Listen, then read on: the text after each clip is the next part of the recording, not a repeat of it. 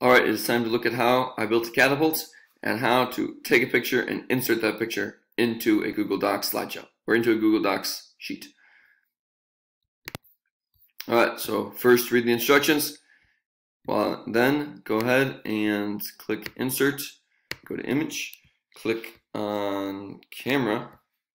Let me make it smaller so you can see the camera. Alright, so I went ahead and made a catapult out of three pens and four rubber bands. You can look this up on YouTube or you can just go ahead and look at mine and make it. Took a paper clip.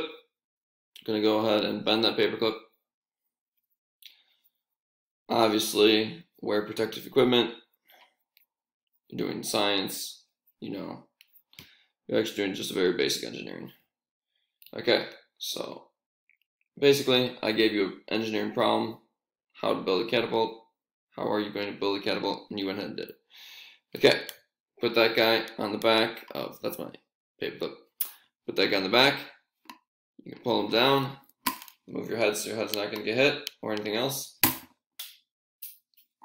And he actually does a decent job. So there is my catapult. I want to get a picture of the ammunition and the catapult itself. So there's my ammunition. And take a picture. Click on the picture. Click insert. There it is. All right. That is how you insert a picture of a catapult into a Google Docs sheet.